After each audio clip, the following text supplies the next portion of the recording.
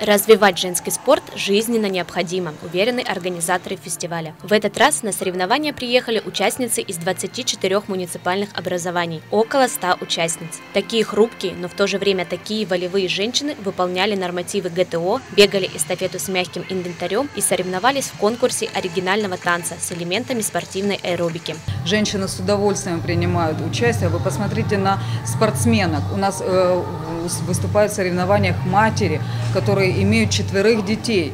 И они в какой прекрасной спортивной форме. Это не каждому дано из молодых, которые сейчас растут.